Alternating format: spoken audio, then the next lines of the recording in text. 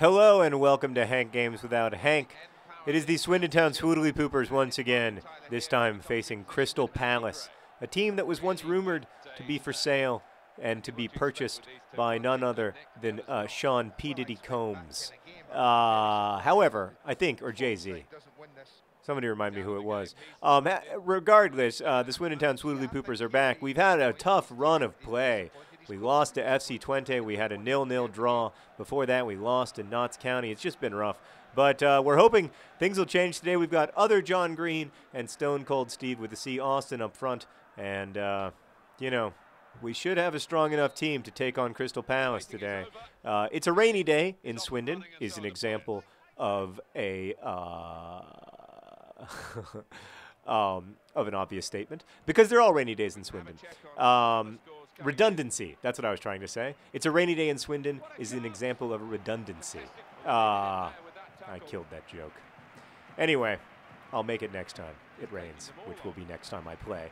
Uh, look at this run right away. Why couldn't we do this against Twente? Ooh, that was bad foul. I'm not going to deny it. Um, I'm going to tell you today the story of how I met my friend Maureen Johnson, New York Times bestselling novelist and uh, Twitter phenomenon Maureen Johnson. Um, I think it's kind of a kind of an interesting story and good story about how writers get to know each other and and then how those friendships end up affecting their work. Um, so it'll also be a little bit of a story about paper towns and um, and and some other books. But uh, I met Maureen Johnson for the very first time uh, about a year into my stay in New York. We had a signing together, which is how writers usually. Oh, Stone Cold Steve with a C. Austin. Look at that. We are back in the game. It's almost like we just remembered how to score. Look at that Stone Cold Steve with the C. Austin. Love it. Love it. We humiliate their keeper. We did it for Fat Lucas. That's right. Great job. We got Fat Lucas in goal, by the way, of course, as always. So um, we had this author signing event. They were like, it was at Books of Wonder, and, and which is in, in New York City, uh, like a cool children's bookstore in New York City. And there were like 40 people there. And um, uh, Maureen is, is a truly eccentric person. And when I met her, uh, you know, we were just like reading and, and, and answering questions from readers and stuff. And when I met her, it was it was immediately clear to me that uh, this was in 2006, by the way, before Vlogbrothers. It was immediately clear to me that like Maureen was very strange, like legitimately not performed strange the way that you know some people are, where they're they're you know consciously trying to be quirky. Um, Maureen does not try to be quirky because she is so profoundly strange. There, it would be it would be silly to pretend. Um, and, and it just fascinated me to meet like an actual eccentric. Uh, to, to meet someone who, when you look in their eyes, you don't really know who's driving the bus on some level. Um, and uh, that's the way I felt about Maureen, just from like our brief encounter.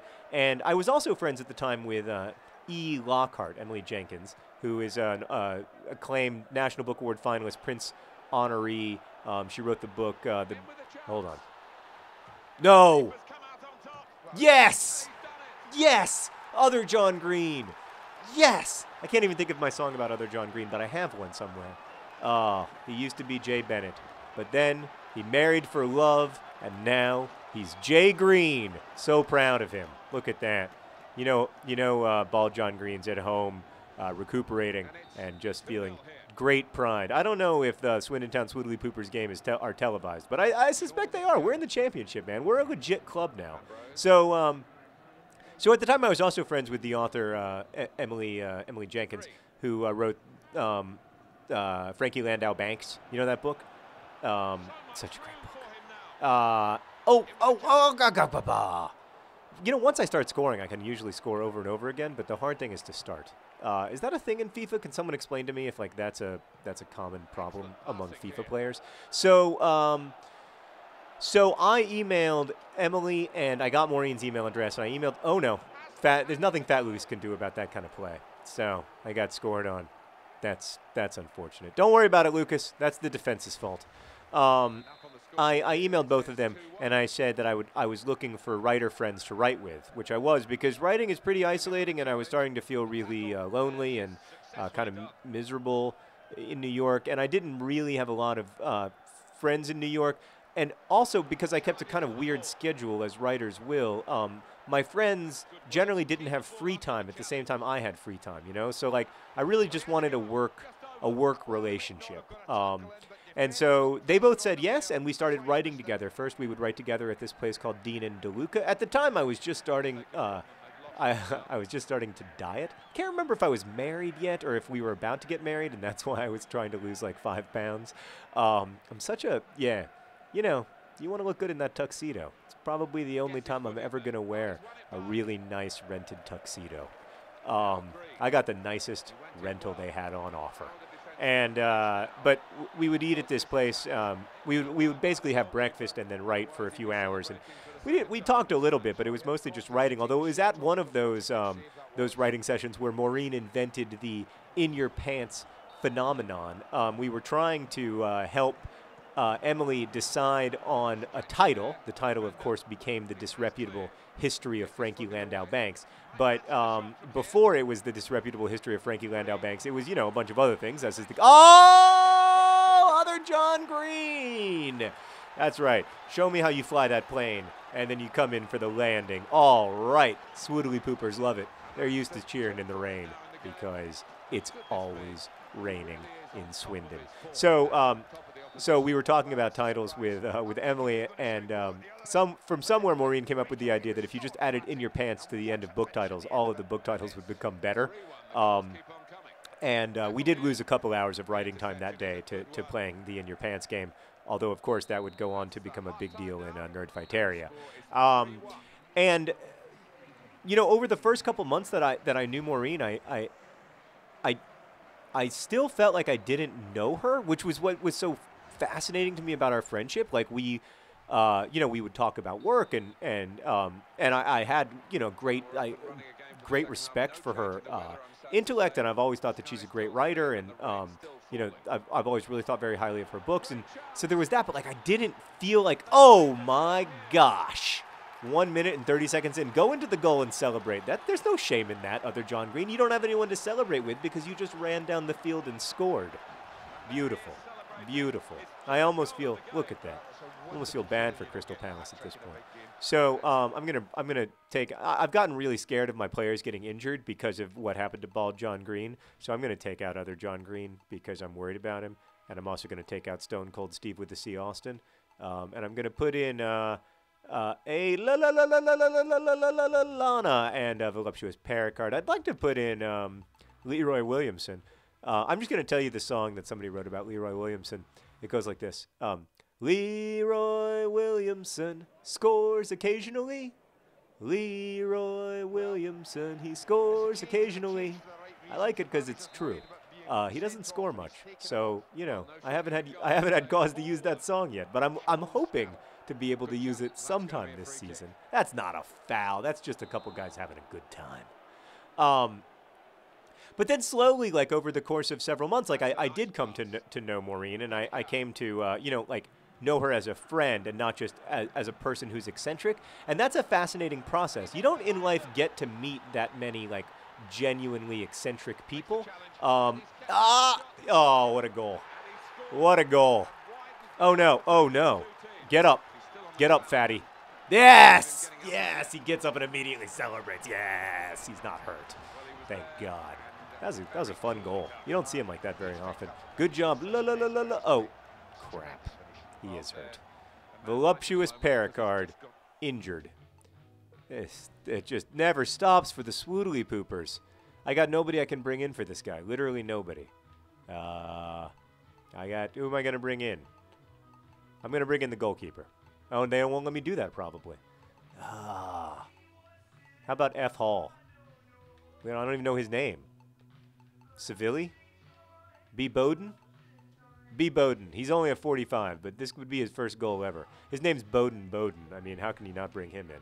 So uh, I came to know Maureen as, as a friend, and it's a fascinating thing to become friends with with an actual uh, eccentric person, um, because uh, because what, what you realize is that you just have to imagine the world. You you have to try to like imagine the world they do, which is such a great thing in terms of one's creativity.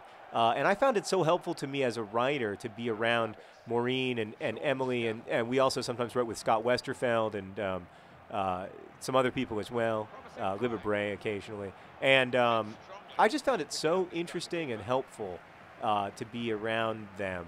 Um, but Maureen, particularly, when I was writing Paper Towns, because it was a glimpse into, it helped me sort of imagine Margot as a character more complexly. Not that, like, in any way, Maureen and Margot have, they don't have much in common or anything, except that they are both, you know, very much like individuals of, of their own passions and interests and not really very compromising in a really admirable way. Like, I, I really admire that uh, Maureen never she never thinks to compromise. It's almost like it doesn't cross her mind that compromise is an option.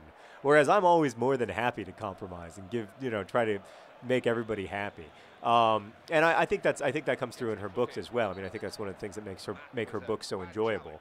But uh, it really helped me write Paper Towns to, uh, to to write that book, you know, while sitting across the table from Maureen and Emily. And I think it I think it says something that I'm really proud of. That when I look back at that time, I see three books that came out of that that time: um, Suite Scarlett, uh, The Disreputable History of Frankie Landau Banks, and Paper Towns. Three books that I, I really like and that I really am proud of. And I think they do, in some ways, represent the the weird energy that was going on in those uh, coffee shops. And later, it was a cupcake store.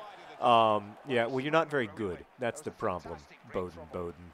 Um, yeah, we we used to go to this cupcake store every day, but we somehow I would manage never to eat a cupcake. I would always get tea, um, and uh, but I would never eat. I, I I'm not a cupcake eater.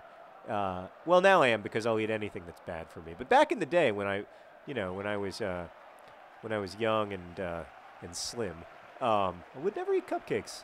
Just so we would go to this cupcake store, nobody would eat cupcakes. It was kind of beautiful. Come on, you got a score there. You're embarrassing my family. Wow, Ambrose has special hair. I mean, can we see him from the side, from the back, please? Can you turn a little bit, Ambrose? Oh my. That that was worth the price of admission. Uh, and now, of course, Maureen and I have been friends for many years, and uh, and I, I you know, we, we talk a lot about about writing and um, and and our books, and I, I am so proud to see her. Um, I'm so proud of the book, The Name of the Star. I, have never read a book um, by Maureen or anyone else. Oh, come on, Bowden, Bowden, you're terrible. Um, that I that that was just so delicious to read. Like it was such a gift to its readers. On some levels, on some level, books should be a gift to their readers, right? Like that's what a book should do. Is it should be kind to its readers. It should be something that that you know readers want to receive. And the name of the star is better at that than uh, I think any book I've I, I I can even remember reading. I just it's just something that you can kind of luxuriate in, uh, and it really does feel like a gift. So. Um, I'm just I'm so proud of her that she's become this like you know great great writer. She was a great writer. Ah, finally, Bowden, Bowden, Bowden, Bowden with his first and let's face it, probably last goal for the Swindon Town Swoodly Poopers. I'll be honest with you, Bowden Bowden is for sale. He is one of the players that we are looking uh, to to move to a different club so that uh, you know the Swindon Town Swoodly Poopers can continue their inexorable march to the Premier League. But you know great day for him, and I'm, I'm proud of him. And he's a Swoodly pooper through and through, and uh, we'll always think of him as one, even if uh, he isn't always a member of the club. So, uh, so yeah, that's the story of how how Maureen Johnson and I came to be friends, and um, you know, she's uh, been been a great friend to me, and I'm very grateful uh, for her friendship. And it was a lot of fun to work with her on uh, the book Let It Snow, which was also co-authored by our our friend Lauren Myracle who has been much in the news lately and has uh, shown herself to be uh, a, a, tremendous class act and uh, someone who uh, I have great admiration for that has only grown in the last week. And uh, check out the name of the star, but also check out Lauren's novel, um, new novel, which is called Shine, and it is uh, genuinely excellent. one of the best books I've read this year, and um, and I'm really really proud to be friends with those people and also proud that we uh, we wrote this book together so now I can you know some of their shine can wear off on me maybe Thank you for watching another episode of Hank Games without Hank. As you can see, we had a lot of goals today from French the La La La La La La Lana, Bowden Bowden, three, a hat trick from other John Green, and Stone Cold Steve with the C. Austin scored as well. So it's a great day all around for the Swoodly Poopers. Uh, Crystal Palace, weak opposition, and uh, we showed them. So thank you, and uh, I will see you next time. Best wishes.